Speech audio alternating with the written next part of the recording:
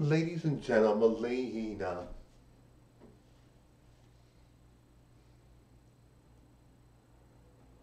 Bye guys, thank you.